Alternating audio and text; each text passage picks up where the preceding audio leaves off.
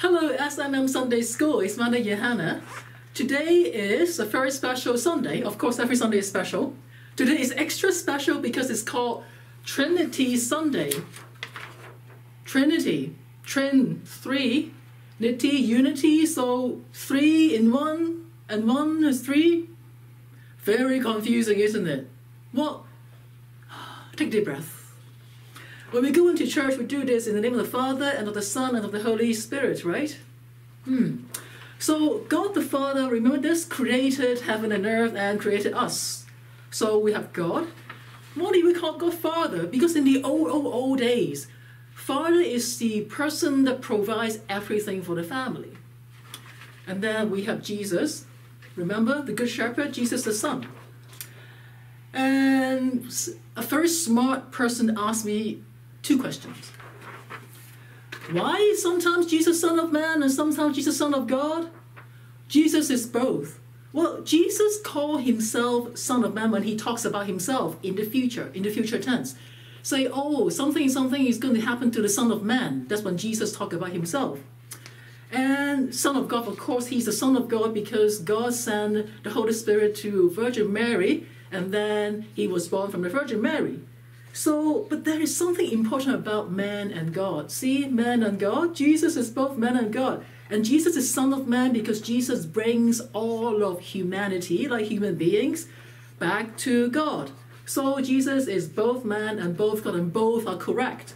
And this Son of Man actually appears mostly in the Gospel of Mark, I think about 14 times. So there you have it.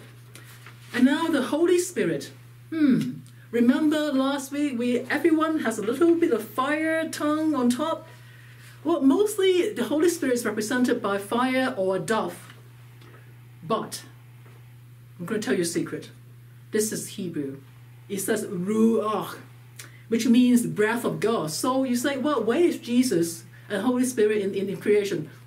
God said, let there be light. Jesus is the Word. The Word is there. And then the breath, all three. And then when Jesus goes back to the Father, the Spirit, Holy Spirit stays with us. So sometimes people ask me, is the Holy Spirit a boy or a girl? Another secret I'm telling you, in Hebrew, like I know you know French, there is a male, for masculine, feminine. So ruach is actually a feminine form. And sometimes when we see Sophia or wisdom, that also refers to the Holy Spirit. So there you have it. It's a female form. And then, well, how can I actually tell you about the Holy Spirit? Look at this picture. Normally, when we look at a picture, we look at the eyes of the figure. But look at this. This is Jesus because Jesus is, is blue, and then I think this is like a burgundy. So Jesus is both God and both man. And then look at what Jesus' eyes is looking at this figure, that is God the Father. And look, God the Father is actually looking at this one, the Holy Spirit. So they're actually going round and round and round and see why is it empty? That's reserved for us. So we actually in the Holy Trinity.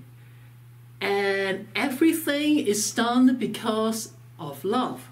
So you say, remember this, three years ago is really, really popular. It's one of the stress spinning thing. So the Holy Spirit is always spinning together, always creating, always creating, and we are part of it. And you might say, well, I prefer God to be an egg. I know some of you do. But do you think, oh, let me see. Okay. God wanted to be compared to an egg? I don't think so.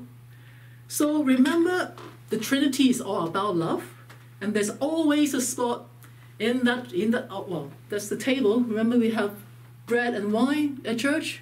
There's always a place for us at that table. So remember trinity father son and holy spirit is all a trinity and unity of love. So if you have any questions you can ask me or email me. Until next time have a safe week. God bless you and pray. Keep praying. Thank you